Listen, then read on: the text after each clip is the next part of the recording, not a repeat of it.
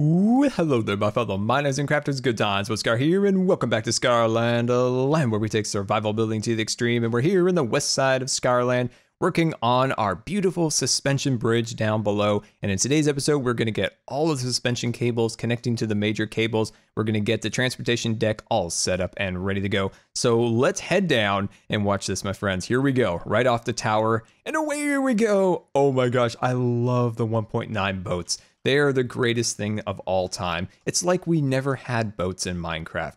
I don't even consider what we had before a boat. This is the greatest thing of all time.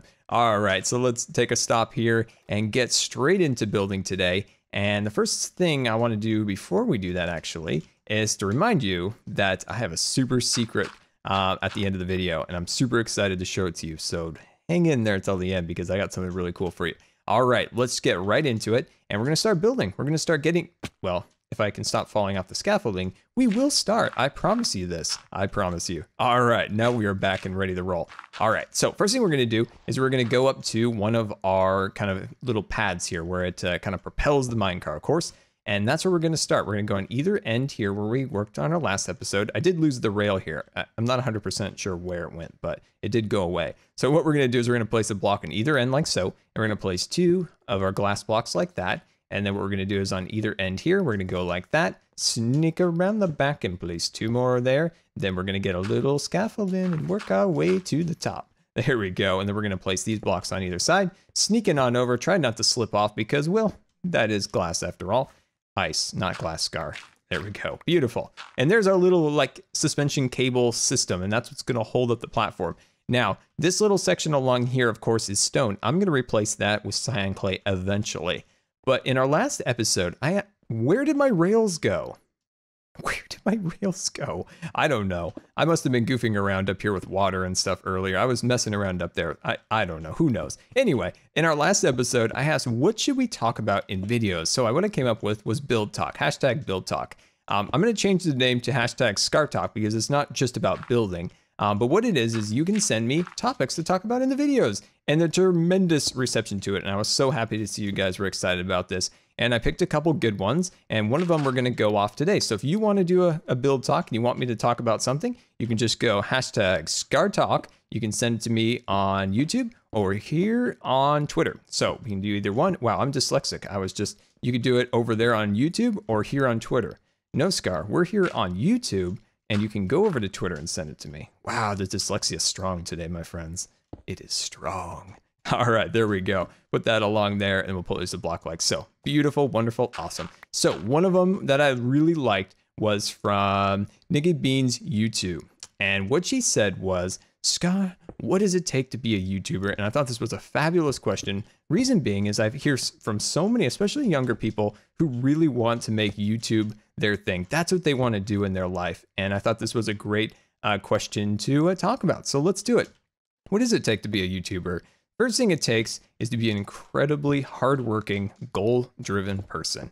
And what that means is you are your own boss. You are the boss of your channel and you are the sole proprietor of your establishment. You make the rules, you make the schedule, you make the content. You are a one man band and you are doing all the work. You are the talent. You're the person creating the content. You're the one in front of the camera. You're the person behind the camera, directing, producing, you know, camera work if that's what you're doing, or editing and all those good things. You are the person who does it all. And personally, that's what I love about YouTube is I you got to be a fiercely independent kind of person to really like YouTube because this is your thing. Nobody's going to tell you what to do.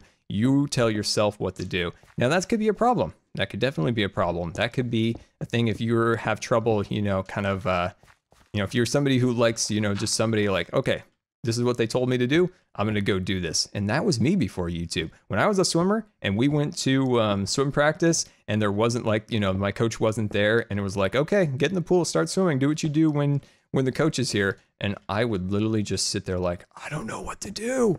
And it took me a long time to get out of that uh, mentality. And once I did, doors open, my friends, doors open. And that's what I love about YouTube is everything on the channel is 100% of my creation, at least at the point of this video. Pretty much, there may be, I can't think of anything else. Like I create the art, I edit, I do all these different things. Uh, maybe it's not the best of the best, but I'm proud of it because I did it and it's 100% of my creation and I'm in control of it. And that's what's really beautiful about YouTube. And if you're entrepreneur like, this is the greatest paradise for you. Um, what about the problems in YouTube? Problems. Yes, there are problems in YouTube. YouTube itself can be a major problem in itself, and that's a that's a major issue for content creators. YouTube, um, you know, YouTube has its issues, and I don't really need to go into it here, but there are issues. So you've got to be able to not, and this is my biggest thing, get discouraged and frustrated. You have to, you will always get discouraged. You always get frustrated, but you need to do your best to kind of avoid that and keep perspective on what's important. And that is your viewers, the content that they want, they want to see the next day. And you just can't let those things get down to you. Yes, you'll probably lose a video here or there. Yes, you'll have to deal with the annoyances of the back sides of YouTube, but that's what you have to do to make content. And that's still what we love to do. All right, next thing trolls. Yes, there's going to be negative people. There's going to be trolls out there. What can you do to prevent something like this? Not a lot. Not a lot. I wish there was YouTube uh, moderators like on Twitch. It would be the greatest thing ever. Um, we have the greatest Twitch mods of all time. Shout out to you, super crew out there. Um, but we don't have that on YouTube, unfortunately, at least that I know of. Um, and uh, but so what you have to do is, yes, you are going to get you're going to get criticism. You're going to have people and you're they're going to get under your skin, but you have to have some perspective in it that these aren't your real fans. Your real fans are there for you. Um, yes, maybe you'll goof up or you won't make something that everyone likes, but you just have to kind of get over it. You can't have a big ego. You just have to kind of continue to persevere, continue to make the absolute best content you can. Be honest with your viewers, like, hey man, this video wasn't to the best of my ability. Next time, it's going to be the best thing ever. And you just have to constantly, constantly refine your work. You never want to get complacent. Always look for the trends. Always find the trends. Am I great at, at you know, following the trends? No, not really. It takes me a long time to adapt. I'm a very slow adapter to new things. Half my projects that I make, it was a year be when I came up with the idea and did a quick kind of rough test of it to see if it would work out for an actual build. It takes me like a year to get to anything. Um, but always be out looking to better yourself. Never get an ego and think you're the best thing ever um, because unfortunately you're not. And you have to make sure that is a mentality that you go into that you are always kind of behind. Have that philosophy, always a little bit behind, and you can always do better to catch up. Once you have success, don't get fat and lazy. Remember the times when you were working hard late at night. You see this all the time on YouTube and in business and all these different things. You see people who struggled so hard. They fought and fought and fought to get where they are. Once they get there, they get fat and lazy. And I don't mean figuratively, but they just get lazy once they get there. They're like, ah, oh, I'm so content now up here in my ivory quartz tower. I got quartz on my mind, as you can see. We're using a lot of quartz today. Um, sitting up here in my quartz tower, and uh, I don't need to do any work today. No, no, no. They love me down there. No, they don't. They like they like your content, but if you stop making that content, you stop treating your fans well, then they're going to turn on you, and they should be honest. And uh, so always remember to stay hungry, stay stay focused. You know, your your viewers are who put you there. So remember that, and also remember remind your viewers, you know, you're a human too. You're a human, and you know, sometimes there are days when you can't make content. There are things that come up in your life, and you got to be honest with your viewers about these things and make sure that they know them. So when they do come up, like when I have to go in the hospital or something, I'm honest with my viewers. I tell them this is what's going to happen, unfortunately, and they're cool about it. And you guys are wonderful about that. And I'm so glad I was honest about my health and all that stuff because it's I've been able to talk with other people who have similar things, hopefully maybe even inspire them just a little bit to get out there and try things too. And uh, also, it gives people a good perspective to know why certain times you can't do certain things. Um, I don't know if any of that helped, but just remember when you're a YouTuber, you don't work a nine to five, you work a 24 hour. And uh, just just stay stay positive. Love what you're doing, and I'm just going to continue running these blocks all the way across here. And I'll see you in just one minute. All right, and welcome back. And as you can see, we are nearly complete on our bridge. We have the deck all ready to go. I did change out the stone to cyan clay, so give me your thoughts on that. Let me know if you think that's an improvement over before. And I think things are starting to look good. If you can spot any Scar mistakes, let me know. And hopefully you liked hashtag Scar Talk. And if, of course, if you have a comment or a suggestion for our next Scar Talk, leave a comment in the in the chat there. So that was all right off the off the top of my head. Total improv. I didn't think about it a, a bit beforehand. I just kind of went right off the top of my head. Um, so hopefully that was able to give you guys a little bit of perspective on how to become a YouTuber. I highly encourage you if that is even just remotely a thought in your head of becoming one, give it a shot. Anyone can create an account and uh, just give it a try. And I'm sure you'll absolutely love it. So what we need to decide is if we want to do cyan stained clay or white stained clay for our support structures. So first choice is one. So this is A, stained cyan clay, or B, white stained clay. I'm going to put a poll up in the top of the screen there for you guys to choose. And uh, so cyan would tie into the the, uh, the ice. It would go up there. The white would tie in with the rest of this, and of course, our other bridge over there. So give me your thoughts. I'm actually going to do one over here and one over there of different colors and then kind of decide what I want to do for the center. But yeah, I'll see you in just one second. All right, and welcome back. And what we're doing is we're applying our glass panes upwards like this. And this is the new best way of doing any suspension cables for bridges.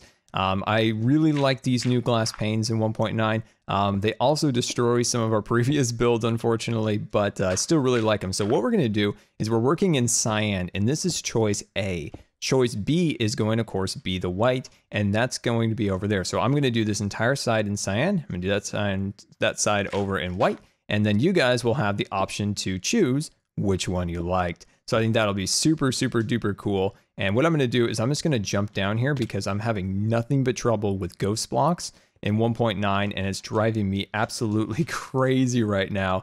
Um, so I'm just going to leave, see, mm, well, I don't know if that was one, but anyway, I'm having trouble with those. So I'm just going to leave that there for when I'm off camera to fix them. But to finish up our build talk for today, or Scar Talk, hashtag Scar Talk, um, I want to leave you with this, and I don't want you ever to take the advice from someone who tells you that you can't make a YouTube channel because it's overcrowded, oversaturated market. This is one of the most false things I have ever heard in YouTube. I know wonderful YouTubers who just started maybe a year, a little more than a year ago, and they're just killing it on YouTube, just doing absolutely awesome, growing their channel, creating amazing content for their viewers. And I just don't want you guys to hear that because I think people who say that um, aren't giving you solid, good intention or good advice that comes from a good place. So don't take that advice and just do what you do, do you, and don't fall into that. And welcome to the super surprise, and that is the reveal of our next major project here in Scarland, and that is Scarred Ranch. That's right, we have a beautiful ranch style home going to be built in this valley that we've been kind of terraforming. It's been taking a long time, but I've got it all pretty well terraformed out. It's going to have a cattle ranch and all sorts of other beautiful things. I think we can terraform those mountains into something very spectacular. An unfortunate side effect of having a very old world is these strange biome colors throughout this patchwork of colors. It's very unfortunate. I wish there was a way of getting rid of those but I know none, unfortunately. But I think, as you can see, the layout of the house is going to be very, very beautiful in this valley once we really get terraforming. And I do need quite a few more supplies. As you can see, I'm growing a lot of trees. And yeah, so hopefully you guys are excited for Scarred Ranch. And that, of course, is our next major building project. So let's get back to our current project. All right, and welcome back. And it's so exciting to finally finish the bridge and get it all completed. But I need your help, of course, first and you got to let me know which panes you like. There's a slight difference. It's not a huge difference, but as you can see, it is a slight difference out there in the distance. You can see the slight color change here and the brighter white shining over in the distance. So let me know which one you guys liked best, the A or the B. And thank you so much for watching. It's very, very, very much appreciated. And I'm so glad you guys have enjoyed this particular project. It was really fun. And this is personally one of my favorite builds. I just feel like it came out really nice and yeah, so until next time, this has been Good Times with Scar, and I always really appreciate you guys taking the time to watch my videos. And if you believe the videos are a rating, that would be much appreciated. And until next time, we'll see you later. And don't forget to follow me on Twitch and Twitter. Um, so I'm pretty excited about getting into that. Um, as you guys know, I love theme park designs and all those good things. Um, so I think that'll be really cool. All right, so we've made it to the top here. And this center column right here is something that I'm a little bit iffy on on the exact color